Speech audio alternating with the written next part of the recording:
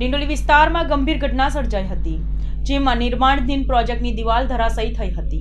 ચાલુ પ્રોજેક્ટની દિવાલ ધરાશયી થતાં સદનસીબે કોઈ શ્રમિકો હાજર ન હતા, જેથી મોટી ગંભીર દુર્ઘટના બનીતા અટકી હતી, જેથી હાજર લોકોએ રાહતનો શ્વાસ લીધો હતો. જો કે શ્રમિક ધરાશયી થયેલી દિવાલના કાટમાળ નીચે ન દટાયું હોવાનું પણ સામે આવ્યું હતું. ડિંડોલી વિસ્તારમાં નિર્માણધીન પ્રોજેક્ટની દિવાલ ધરાશયી થઈ હતી ડિંડોલીના આર્થવ પ્રોજેક્ટની દિવાલ ધરાશયી થઈ હતી. જો શ્રમિકો હાજર હોત તો મોટો દુર્ઘટના સર્જાઈ હોત તેવી આશંકા વ્યક્ત કરવામાં આવી રહી છે.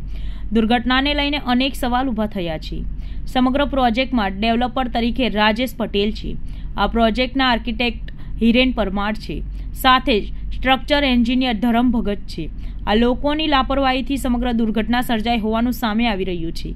ત્યારે આ પ્રકારની દુર્ઘટના બનવા પાછળ કોની લાપરવાહી છે તે અંગે સવાલો ઊભા થયા છે.